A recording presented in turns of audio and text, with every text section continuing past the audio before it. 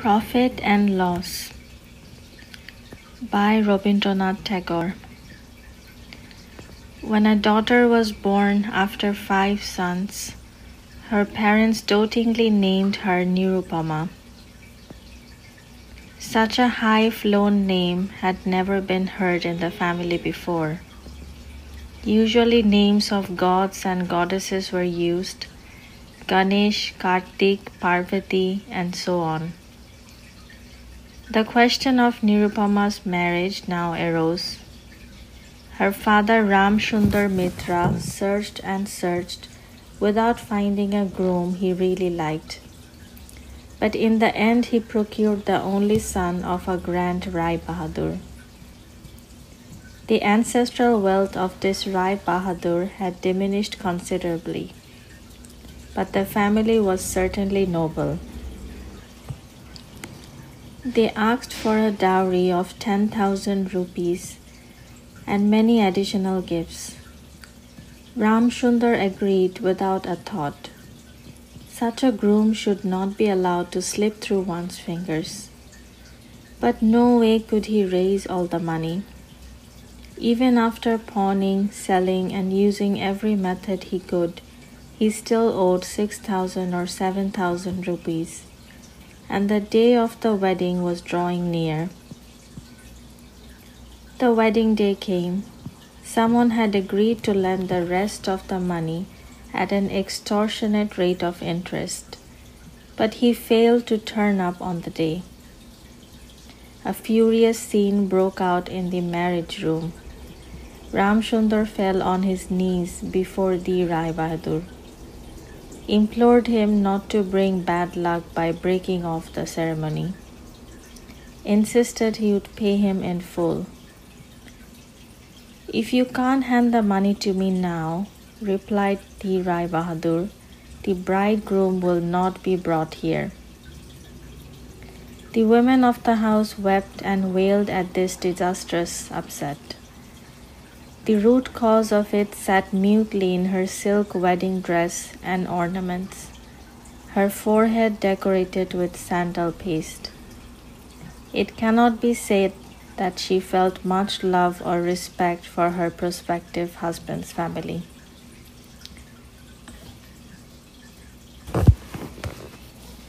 Suddenly, the impasse was resolved.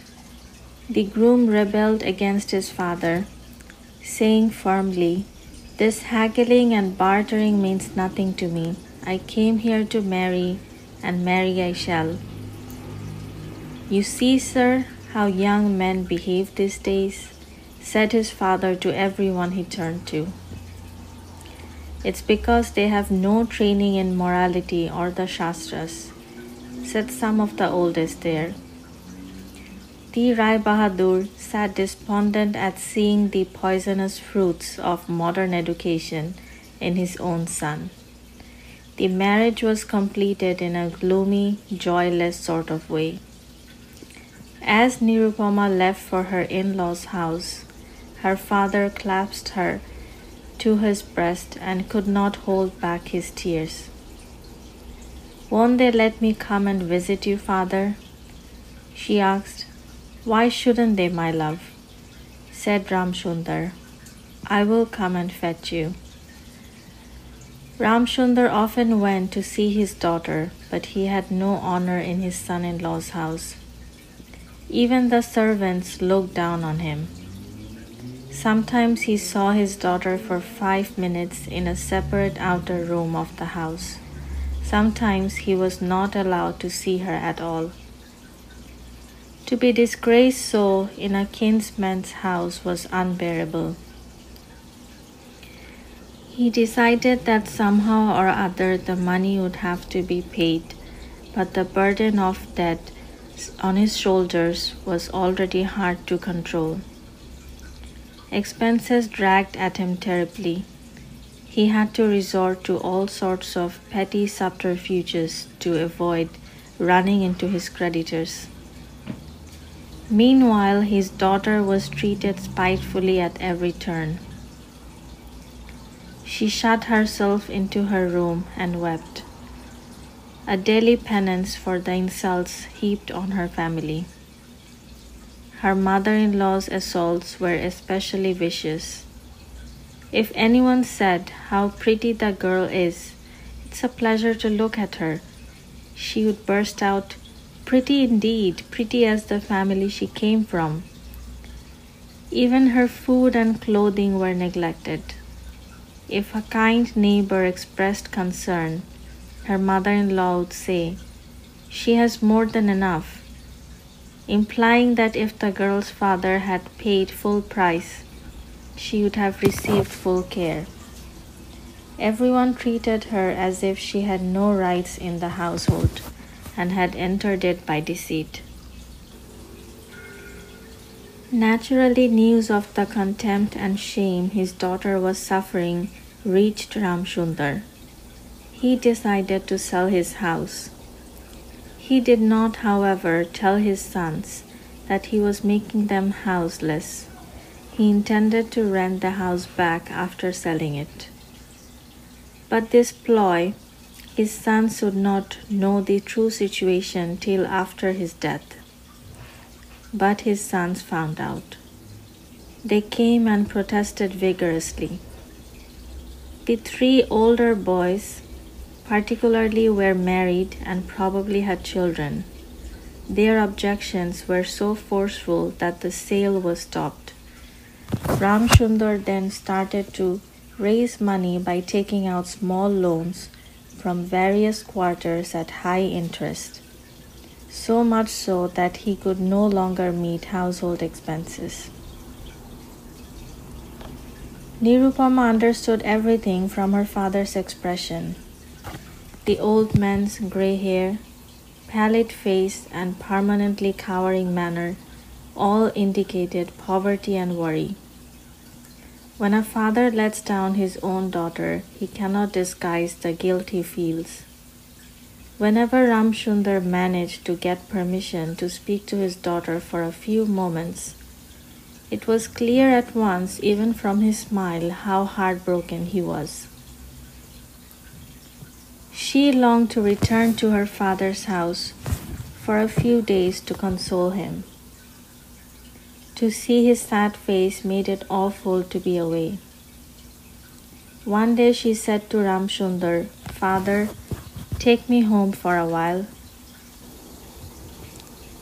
Very well, he replied, but he had no power to do so. The natural claims that a father has to his daughter had been pawned in place of a dowry. Even a glimpse of his daughter had to be begged for meekly, and if, if on any occasion it was not granted, he was not in a position to ask a second time. But if his daughter herself wished to come home, how could he not bring her? It is better not to tell the story of the indignity, shame, and hurt that Ramsundar had to endure in order to raise the 3000 rupees that he needed for an approach to his daughter's father in law. Wrapping the bank notes in a handkerchief tied into a corner of his chadar, he went to see him. He began breezily with local news, describing at length a daring theft in Hare Krishna's house comparing the abilities and characters of Nobin Madhov and Radha Madhov. He praised Radha Madhov and criticized Nobin Madhov. He gave a hair raising account of a new illness in town. Finally, putting down the hookah, he said as if in passing, Yes, yes, brother, there's still some money owing. I know. Every day I remember and mean to come along with some of it, but then it slips my mind. I'm getting old, my friend. At the end of this long preamble, he casually produced the three notes, which were really like three of his ribs. The Rai Bahadur burst into coarse laughter at the sight of them. Those are no use to me. he said, making it plain by using a current proverb that he did not want to make his hands stink for no reason. After that, to ask to bring Nirupama home seemed out of the question. Though Ramsundar wondered what good he was doing to himself by observing polite forms. After sitting in heart stricken silence for a long time, he did at last softly raise the matter. Not now, said the Rai Bahadur, giving no reason. Then he left to go about his work. Unable to face his daughter, hands trembling, Ramsundar tied the three banknotes back into the end of his chadar and set off home. He resolved never to return to the Rai Bahadur's house until he had paid the money in full. Only then could he lay claim to Nirupama confidently.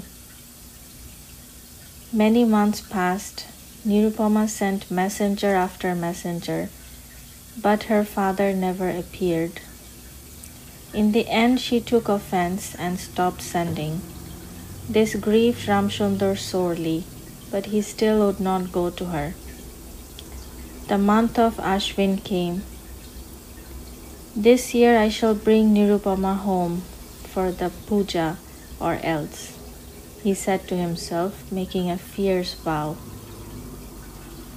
On the fifth or sixth day of the puja fortnight, Ramsundar once again tied a few knots into the end of his chadar and got ready to go out.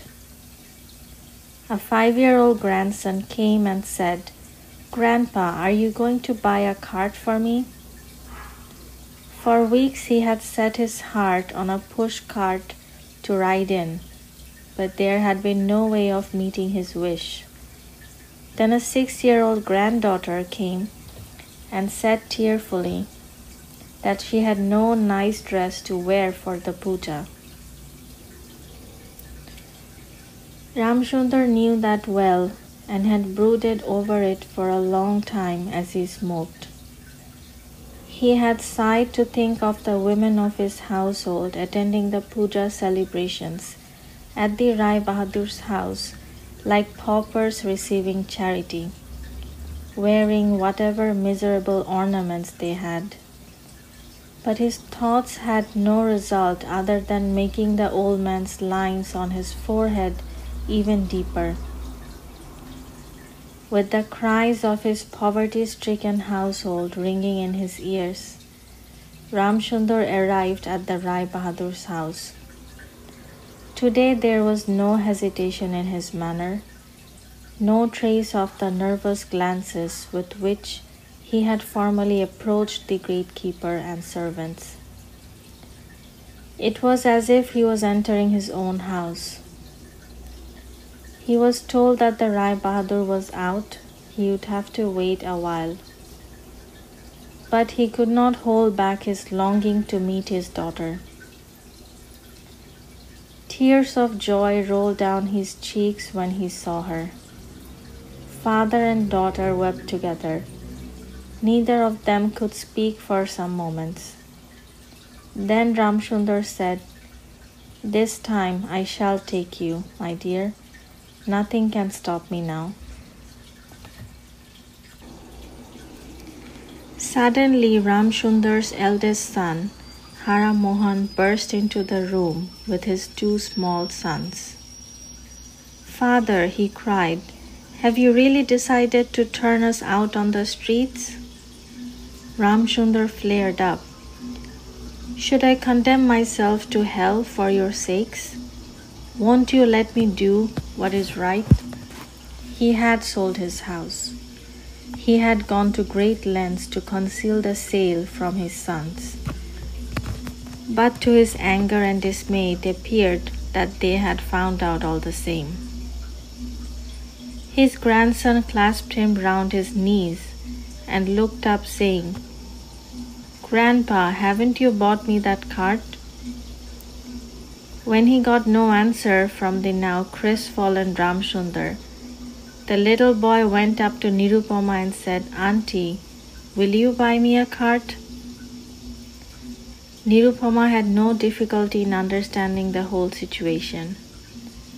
Father, she said, if you give a single pesa more to my father in law, I swear solemnly you, you will never see me again. What are you saying, child? said Ramsundar. If I don't pay the money, the shame will be forever on my head, and it will be your shame too. The shame will be greater if you pay the money, said Nirupama. Do you think I have no honor? Do you think I'm just a money bag? The more money in it, the higher my value. No, father, don't shame me by paying this money. My husband doesn't want it anyway.